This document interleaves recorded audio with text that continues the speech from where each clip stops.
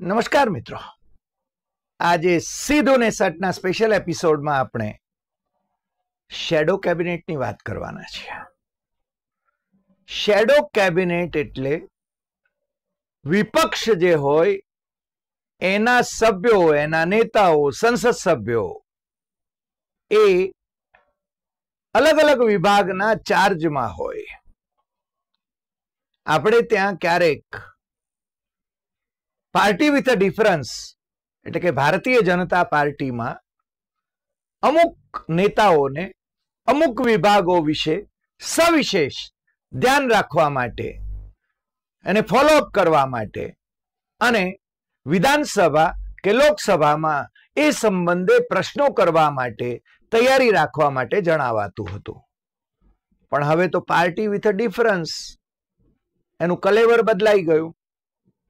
ગુજરાત વિધાનસભામાં જ્યારે પરેશ ધાનાની એ વિપક્ષના નેતા હતા ત્યારે અમે એમને પૂછ્યું હતું કે તમે શેડો કેબિનેટ બનાવવાના?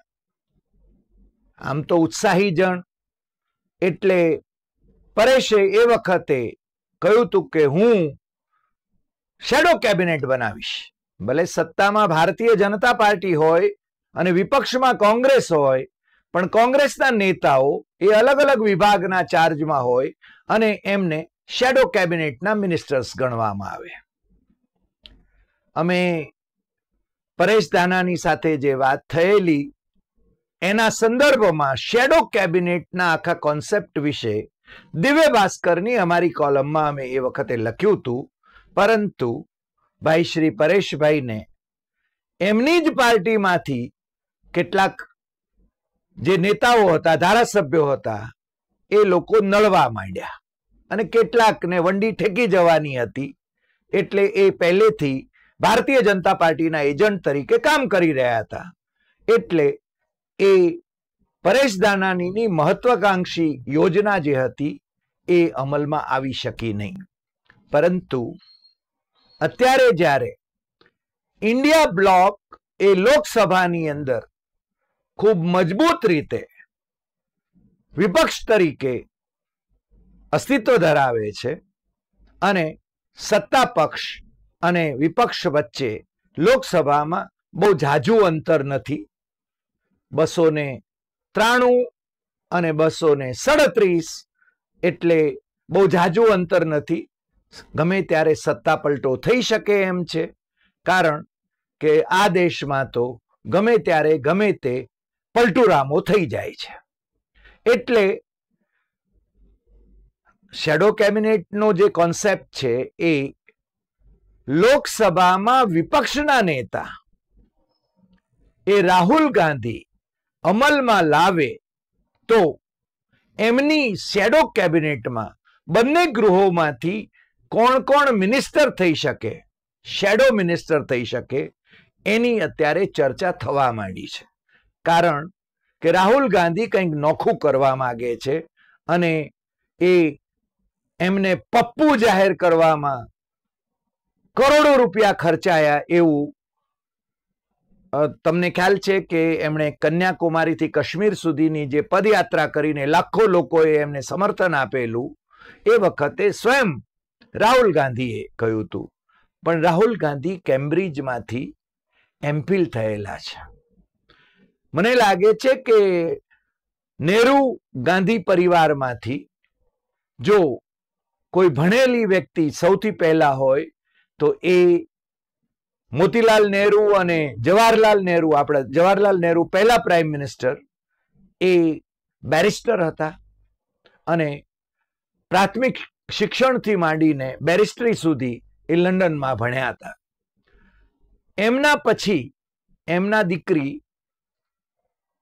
ઇન્દિરા પ્રિયદર્શિની, એટલે પછી લગ્ન ઓગણીસો ને બેતાલીસમાં થયા, વૈદિક વિધિથી થયા, પારસી એવા ફિરોઝ ગાંધી સાથે થયા, એ વડાપ્રધાન થયા, પણ એ સ્નાતક પણ નહોતા.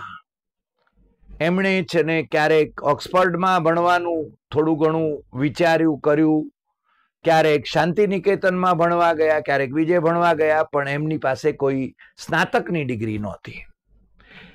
એમના જેવું જ, એમના બંને પુત્રોનું થયું. એમના રાજકીય વારસ ગણાય એવા નાના પુત્ર સંજય ગાંધીનું આકસ્મિક મૃત્યુ થયું, પરંતુ એમના મોટા પુત્ર રાજીવ ગાંધી એ ઇન્દિરા ગાંધીની જેમ જ પ્રાઇમ મિનિસ્ટર થયા, પણ રાજીવ ગાંધી પાસે પણ સ્નાતકની પદવી નહોતી. રાજીવ ગાંધી અને સોનિયા ગાંધીના પુત્ર, એટલે કે રાહુલ ગાંધી, એ કેમ્બ્રિજ યુનિવર્સિટીના એમફિલ છે. સંજય ગાંધી અને મેનકા ગાંધીના પુત્ર, ફિરોઝ વરુણ ગાંધી, એ લંડન યુનિવર્સિટીમાંથી માસ્ટર્સ કરીને આવ્યા છે. અને પ્રિયંકા ગાંધી વાડ્રા, એ સાયકોલોજીમાં દિલ્હીથી એમણે માસ્ટર્સ કરેલું છે. એટલે કે આ ત્રણેય ભાઈ બહેન એ ભણેલા ગણેલા છે, ડિગ્રીધારી છે અને એમની ડિગ્રીઓ કોઈ શંકામાં, શંકાના ઘેરામાં નથી. એમણે એન્ટાયર પોલિટિકલ સાયન્સમાં માસ્ટર્સ કર્યું નથી કે એમ ફિલ કર્યું નથી. પણ શેડો કેબિનેટનો જે વિચાર છે એ દુનિયાના અનેક દેશોમાં છે.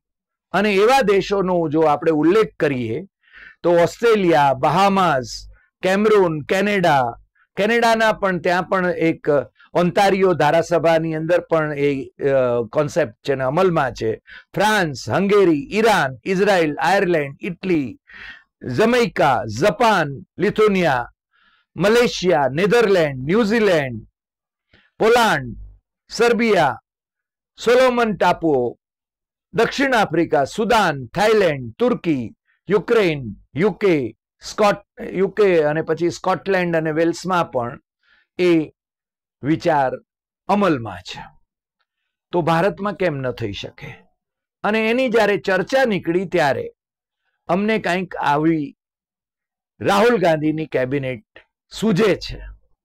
રાહુલ ગાંધીને જુદી સૂજી શકે, પણ અમને જે કેબિનેટ રાહુલ ગાંધીની શેડો કેબિનેટ એ સૂજે છે. કારણ કે શેડો કેબિનેટ એ અલ્ટિમેટલી સત્તા ગ્રહણ કરતી વખતે એની તૈયારી માટે પ્રેપરેશન માટે એ હોય છે.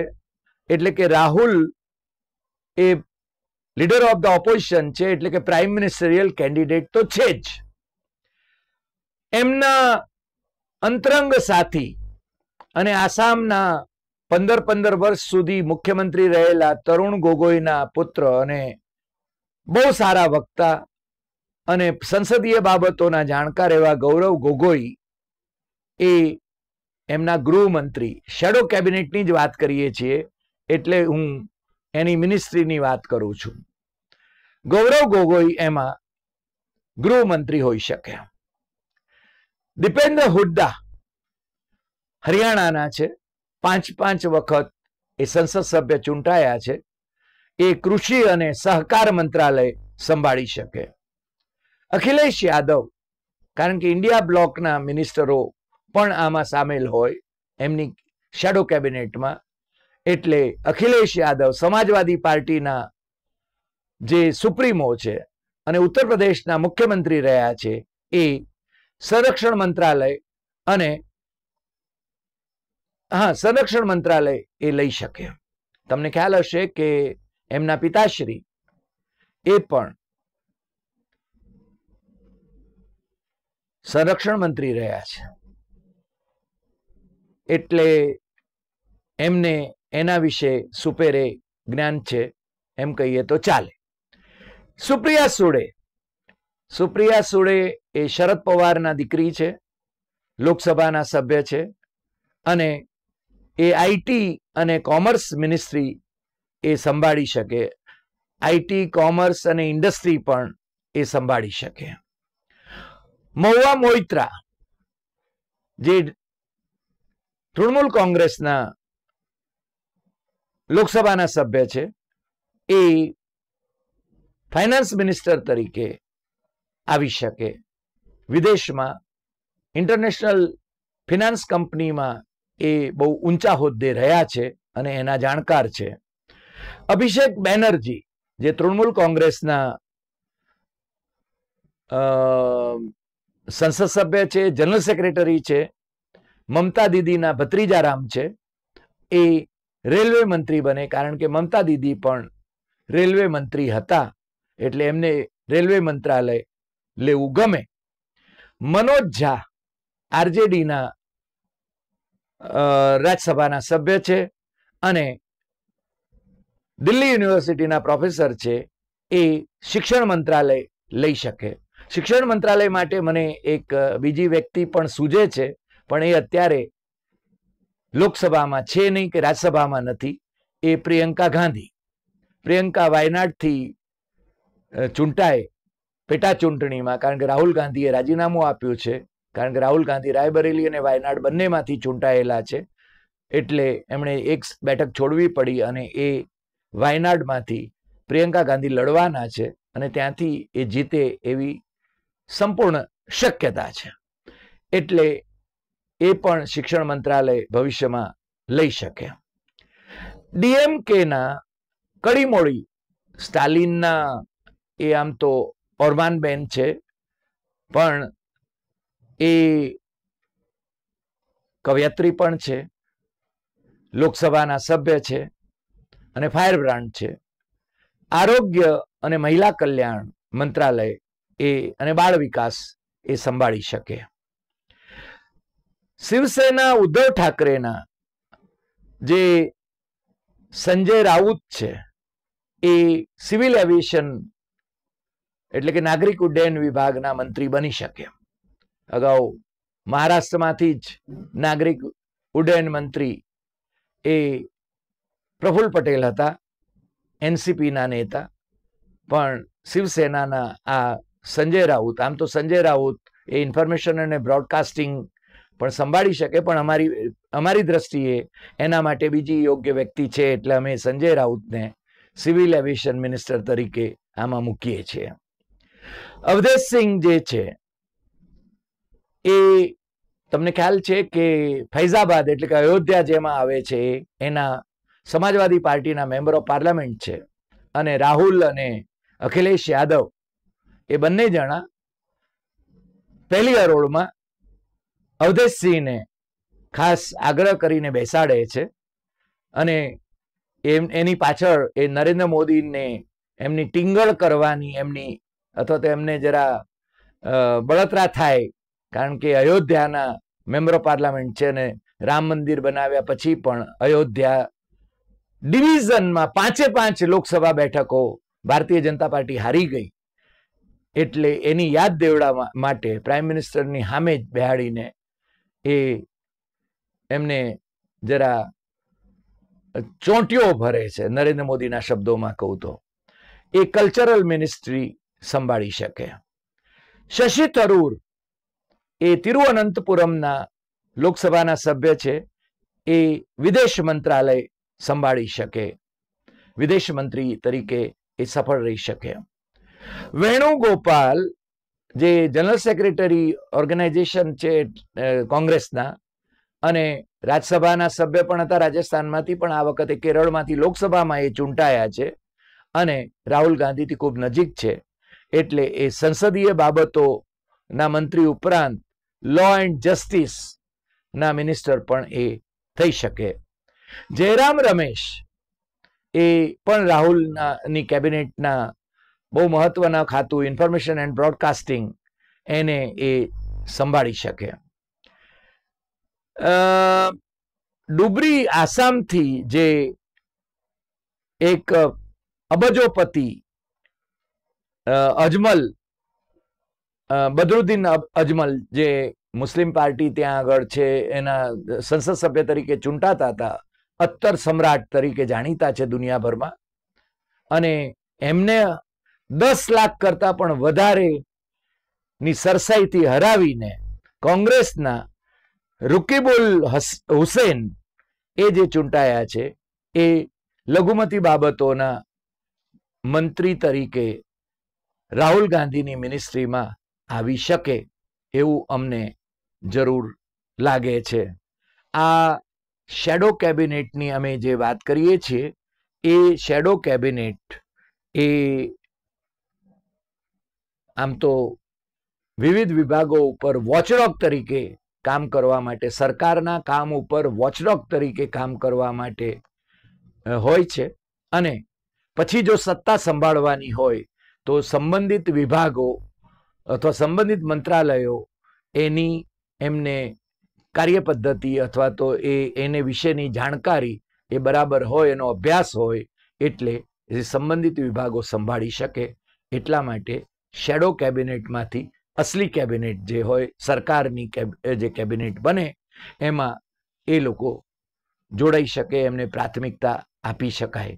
આજે અમે આજે વાત કરી છે એ શેડો કેબિનેટનો કોન્સેપ્ટ ભારતમાં સ્વીકારવામાં આવે રાષ્ટ્રીય સ્તરે અને રાજ્ય સ્તરે પણ વિધાનસભાઓમાં એ સ્વીકારવામાં આવે તો અંતે તો પ્રજાનું ભલું થશે એવું અમને લાગે છે. અને સાથે જ કોંગ્રેસના જે રાષ્ટ્રીય અધ્યક્ષ છે એમને આગામી દિવસોમાં રાષ્ટ્રપતિ તરીકે એમને પ્રોજેક્ટ કરાય એવી પણ શક્યતા અમે જોઈ રહ્યા છીએ. આજે આટલી વાત. ફરી મળીશું નવા એપિસોડમાં નવા વિષય સાથે. આજે જરા અનોખો વિષય આપણે લીધો છે. તમને જો આ ગમ્યો હોય તો સૌથી વધુ શેર કરશો, લાઈક કરશો, કમેન્ટ કરશો અને આપણી YouTube channel doctor Hari Desai Satyam Evam Tathyam એ સબસ્ક્રાઇબ કરવા માટે દેશમાં અને વિદેશમાં મિત્રોને જરૂર જણાવશો. નમસ્કાર.